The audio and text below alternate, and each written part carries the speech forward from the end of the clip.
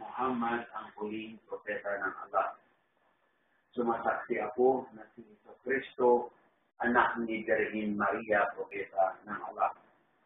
Naniniwala ako na ang paraiso katotohanan. Naniniwala rin ako na ang impyerno katotohanan. Naniniwala ako na ang lahat mamamatay. Darating ang araw ng paghukom.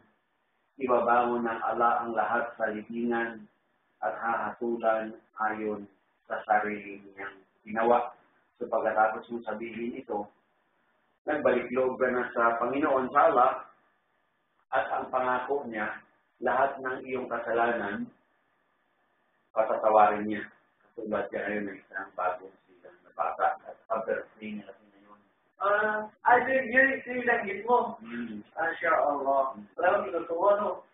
Ibig Sabihin, mag-celebration yan ngayon. Kaya nga dapat magdasal tayo ng limang beses araw-araw bilang pagpapasalamat natin sa Panginoon dahil binigyan tayo lakas ng mahabang buhay, malinis na kalusugan. Sa tuwing umaga, pagising natin, sabi natin, Alhamdulillah, kasi kapag natutulog ang tao, dito niya nararanasan yung maikling kamatayan. Kasi hindi wala yung spiritual sa ating katawan, sa ating physical na katawan. Kaya kung hindi na ito ibabalik ng Diyos, sabihin ang tao ay patayin na ako. Kaya nga halimbawa, pag gising natin sa umaga, sinasabi natin, salamat sa Allah. Salamat natin sa Kanya dahil ipinalik niya ating kaluluwa.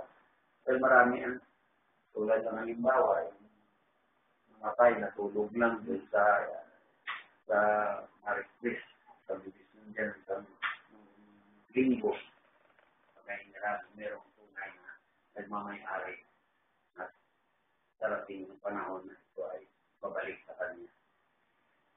Kaya kailangan bago natin ibalik sa may hawak ng buhay natin ang ating buhay, isapin natin na may malinis, may takot sa kanya, sumasamba sa kanya.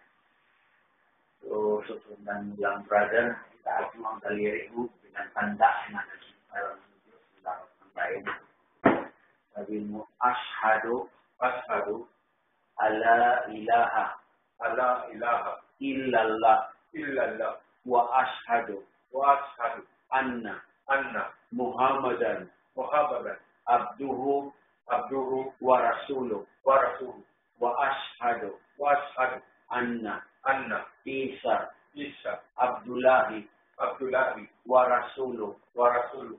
وكلمته وقام به و وقام و و كلمة كلمة ألقاها ألقاها إلى مريم إلى مريم وروح وروح منه منه وأشهد وأشهد أن أن الجنة الجنة والنار والنار حق حق وأن وأن الساعة الساعة آتية آتيكم لا ريب لا ريب فيها فيها. وأن وأن الله الله يبعث يبعث.